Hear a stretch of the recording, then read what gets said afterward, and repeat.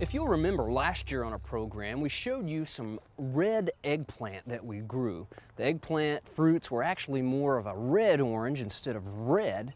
And this year we've ordered seed of another eggplant and keeping with OSU color and tradition, these are more of an orange eggplant. This one's called Turkish Orange and we got the seed from Seeds of Change out of New Mexico.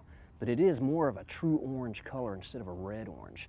Got some interesting green stripes here in the fruit as well. They're not very large, they're more of a tennis ball sized eggplant. Another name for these are the Ethiopian eggplants. And in some cultures, the fruits are harvested when they're in this green state and used to make curry. And later, when the eggplants do turn a little more orangish, they're used for pickling.